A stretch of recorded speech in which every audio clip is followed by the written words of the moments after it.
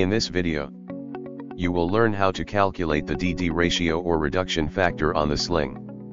Whenever a sling bends around another object, there will always be a loss of sling capacity.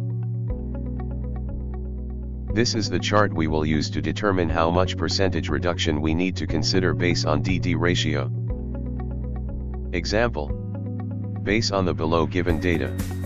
We will calculate the reduction of sling when it bend to trunnion of the cargo.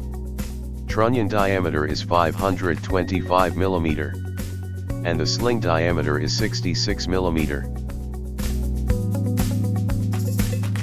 See the example calculation for DD ratio.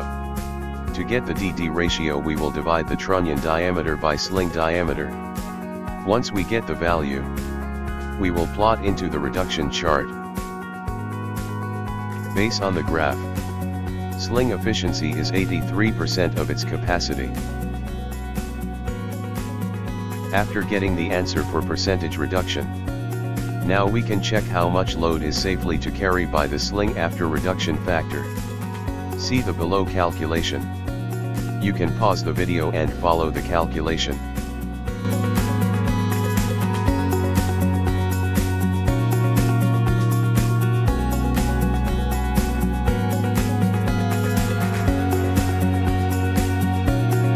Reduction factor the 75-ton sling capacity becomes 62.25 ton. It reduce around 17 percentage of its capacity.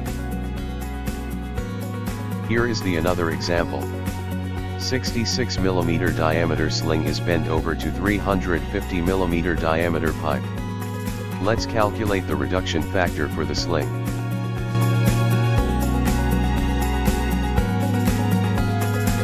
Same formula we will use to calculate the DD ratio.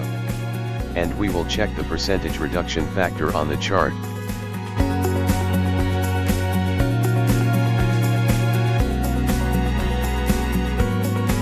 If you using basket hitch, it will double up the capacity of the sling.